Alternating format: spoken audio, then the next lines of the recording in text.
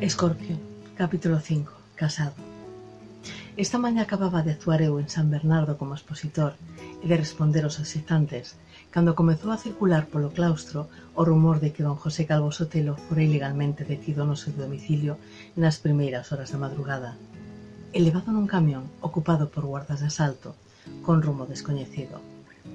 Mentres almorzábamos na pensión ouvimos as noticias do radio, segundo as quais a Dirección Xeral de Seguranza negaba ter lanzado orden algunha de detención do deputado por Ourense. Pola tarde supemos máis detalles do suceso. As persoas que practicaron a detención non permitiron que o exministro utilizase o teléfono para comunicarse con non se sabe quen.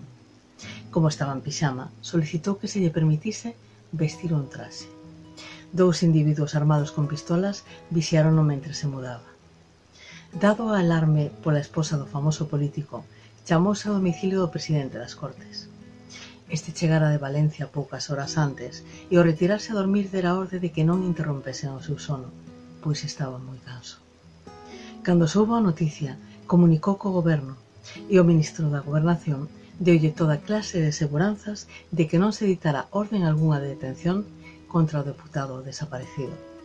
Acrecentou o ministro que ordenaba a movilización de todas as forzas necesarias para dar co paradeiro do señor Calvo Sotelo. Ao final, veuse saber que o seu cadáver se achaba no cemiterio do leste, onde o conduciran os seus secuestradores. Madrid vive baixo a impresión de que estes graves sucesos poden ocasionar outros máis graves aínda.